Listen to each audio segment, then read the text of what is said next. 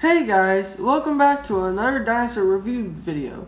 Today we're going to talk about Papo's Ceratosaurus.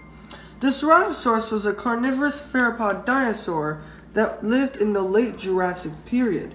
This dinosaur was discovered and described by famous paleontologist Othniel Charles Marshall based on a near complete skeleton discovered in Garden Park, Colorado in the Morrison Formation. Ceratosaurus fossils are not only found in North America, but can also be found in Portugal and Tanzania. This particular model of Papos is 8.5 inches long and around 3 inches high. Like most of Papos carnivor carnivorous dinosaurs, it has an articulated jaw, meaning you can move the jaw like closed or open. And this particular model almost looks like the real thing. The scales um, appear lifelike and the inside of the mouth is well sculpted. Especially the tongue, teeth, and the entire pose is amazing.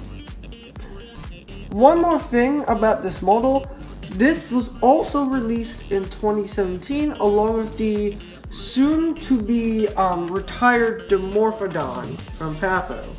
Sadly, I'm gonna bring in two dinosaurs, two Jurassic dinosaurs, specifically from North America, to use the size comparison. Okay guys, so I brought two dinosaurs in, both from Papo, the Papo Dilophosaurus and the Papo Allosaurus, to just bring into size comparison. As you all noticed, the Allosaurus is definitely larger than this um, Ceratosaurus model, making it small looking.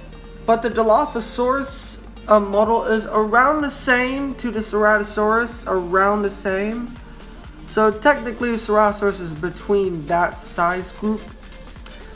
As you can see, the Cerato is dwarfed to the Allo, and I mean dwarfed. But that's okay, I mean, that's okay. That means more space for more dinosaurs. okay, anyway.